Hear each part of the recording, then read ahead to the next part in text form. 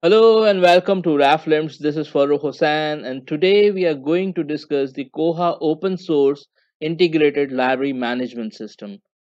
According to Koha community site, Koha is the world first integrated library system. That's maybe right or maybe wrong, but what I feel and a number of researchers and developers declare it the world best free and open source integrated library management system. One of the research scholar, Muller, presented an analysis of over 20 free and open source integrated library system in his research article how to choose a free and open source integrated library system in 2011 by evaluating their licensing communities and functionalities. His finding shows that koha constantly received the best result at all stages of the study According to him, Koha is 100% free and open source integrated library system. There's no hidden charges involved, there's no license fee involved, there's no third party involved with a critical mass of developers, contributors and users around the world. Koha represented 100% ideal score in the maturity of over 800 functions and features. So it started on 6 September 1999 by a library and developed by the Katipo Communication of New Zealand. So that was a brief introduction about Koha. Now let's talk about its community.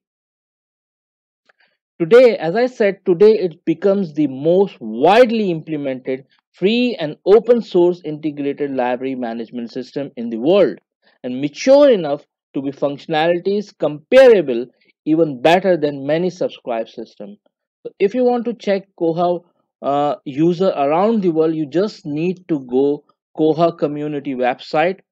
Uh, there you can find or koha wiki website is actually wiki i call it wiki so there you can find the koha user around the world. I just click on this link it's wiki.koha dash community.org and rest of the address is available here. And just click on this link. Even you can write on google that you can find uh, the koha user worldwide. And you can see the koha is everywhere. In every continent of the world. In africa in europe in middle east in east asia in south asia in southeast asia and rest part of the world. So i just click on south asia where we are right now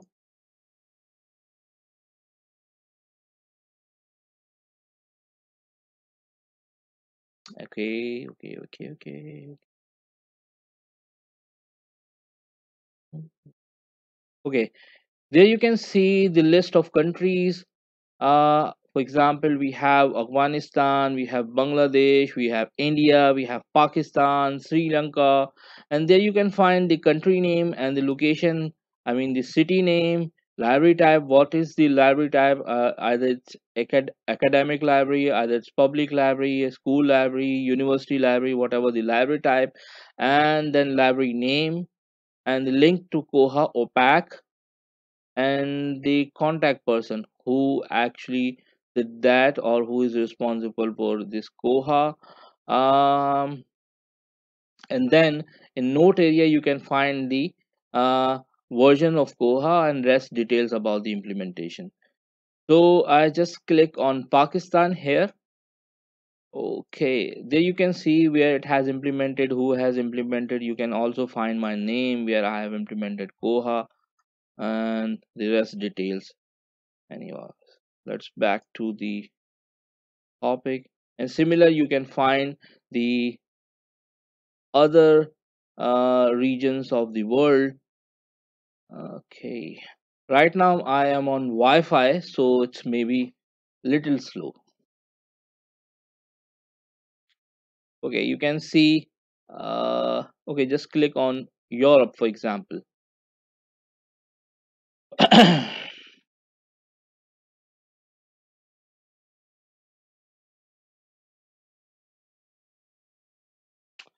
So there you can see list of countries uh, for example australia denmark finland france georgia germany uh, Italy, Netherlands, Turkey, and UK, of course. So you can see uh, the same thing. I mean, the country name, the location, uh, the city name, the library type, library name, and Koha OPAC link, contact person, and note. So you can see here, same thing. Let's back to the topic. After discussing the Koha worldwide user, let's talk about Pakistan. So I have collected this data from various sources. Maybe I'm wrong, but Koha is implemented in top libraries of Pakistan. Uh, either academic library, either school library, either university library or special library. Uh, so you can see where you find the static. That's mean I have implemented Koha. Uh, first, I have implemented Koha at International Center for Chemical and Biological Sciences in University of Karachi. And lastly, I have implemented Koha at Ikra Library. It's formerly Military Station Library at Malik and Karachi. And uh, you can see the rest institution here. Uh, it has where it has implemented. So and uh, So Koha is not only for user, it's also for developers. Koha has many vendors providing hosting, support, and development services on payment basis. I mean paid services. So if you need paid services, you just go on Koha community site. It's koha-community.org. There you can find the paid services as well. I have already opened this address and just go to the direct directory and so if you are a vendor, you can get into the list or you can check this list. It's available randomly, it's available continent wide, it's available country wide or alphabetically. Just click on alphabetically. Oh. So there you can see it's A to Z and where it has who is the contact person, and the country name, the city name, and the contact details. I mean, the phone number, the email address, and the website. By the way, Koha also has a, a demo website there you can check uh, Koha demo. I mean, the companies also release their demo version there, so you can check them. For example, this is one of the company. Bywater is one of the company. Uh, I mean, the Koha vendor, the deal in Koha, so you can check them. So there you can check their demo version as well, where OPAC you will find, where you staff login you will find with the password and the version details as well. So back to the topic.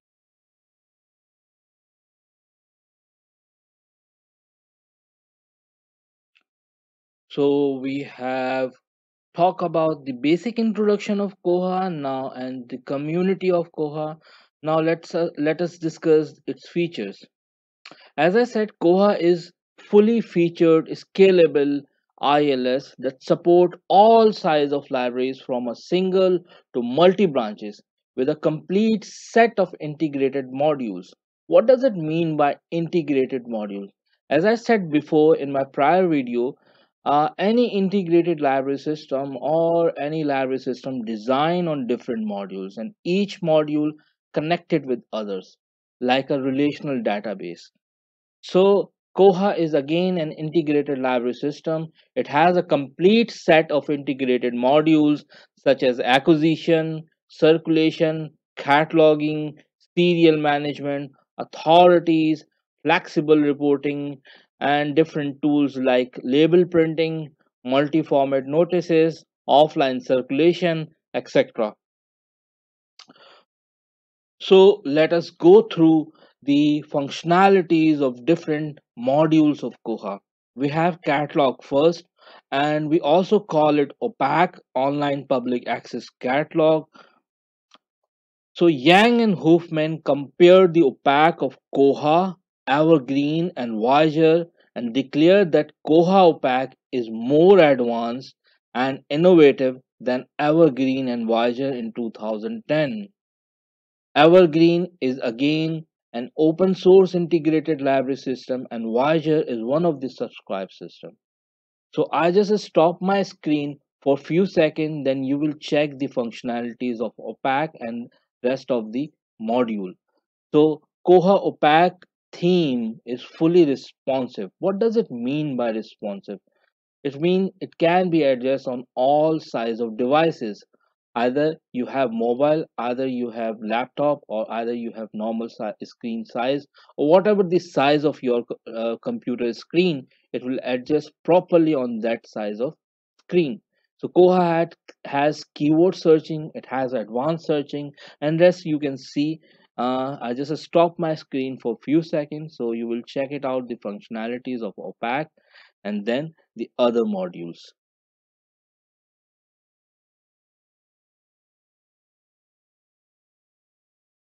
after opac we have acquisition Uh, it's actually one of the finest module of Koha to manage your budgets and funds. I mean, library budgets and funds. So there you can order to vendors and you check, you can check it out and you can manage the records of your accounts detail, your library budgets detail, your funds detail, whatever the. And you can even track the records and you can write the uh, uh, claim letters. Or so after acquisition, we have uh, cataloging Cataloging is the most important task of librarian. So you can add bibliographic and authority record by batch uploading, or you can use copy cataloging with a built-in client Z39.50, or you can use OCLC Connexion. You can follow AACR2 uh, code, or you can follow RDA framework, whatever you want to do with cataloging of Koha. So Koha cataloging is quite easy and effective. So you can see the rest of the thing and after cataloging Koha has a circulation. Circulation is you can perform checking checkouts of books by barcode scanner, by QR code, by thumb impression or manually. So all these are available in front of your screen. I just stop my screen for few seconds so you can read them and let us go to other module. Patron management or membership. This is again an important task of librarians or uh, information resource center. So you can see you can upload patrons or member in bulk file, in a batch file, and you can use you can also upload patron images individually or in a bulk. You can create patron cards and rest you can see here.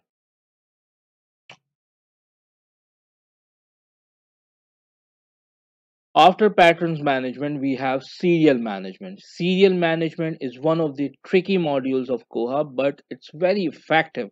You just need to practice how to manage your subscription. So you can manage subscription very easily with Koha, and I we will just discuss in some next videos how you can work on Koha serial management. So after the serial management, we have reports. So you can write any report you want. There's a complete wiki there's a complete koha report reports library. There you can just copy and paste the sql code and your report will be ready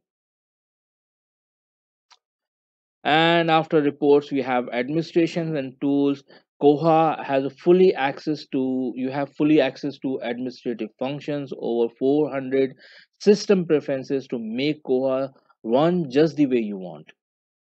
So, and we each modules of Koha is built on some library standards and protocols such as MARC 21, UNIMARC, Z39.50 to ensure interoperability uh, between Koha and other systems and technologies like LDAP functionalities for single signing, RFID for library security, and self-check-in checkout. And Koha is truly a multilingual and translatable ILS. There's a Urdu version also available.